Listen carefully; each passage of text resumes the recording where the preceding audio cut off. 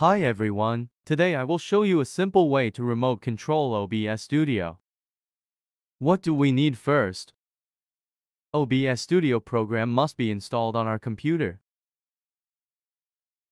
Then you have to go to GitHub web page. OBS Studio is where the WebSocket program is located. Download OBS Studio WebSocket plugin from here.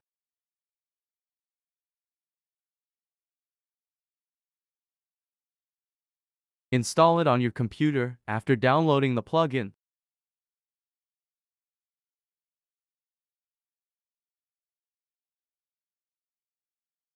Run the OBS Studio program on your computer and select the WebSocket option from the Tools section. If the WebSocket server is not enabled, enable it.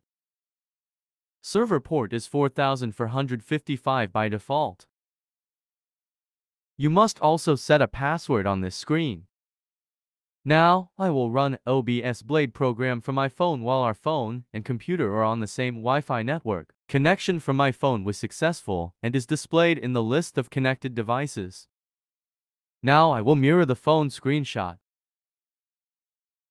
I will make control attempts from the phone interface of OBS Blade program. OBS Blade program found the computer automatically because both devices are connected two the same network. Alternatively, you can pair to devices by scanning a QR code. Our connection was made after entering the password. You can make scene transitions, hide and activate the objects in the scene with this program.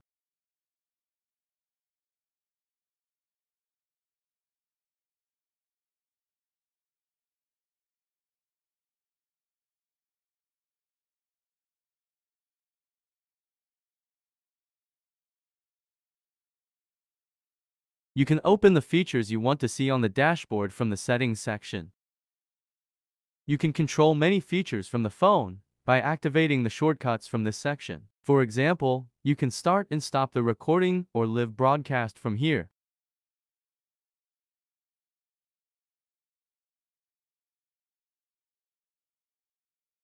You can easily control what will appear on the computer while presenting, with this program.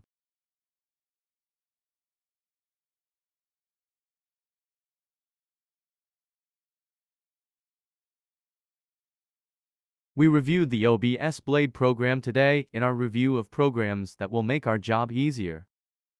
See you again in our next review videos.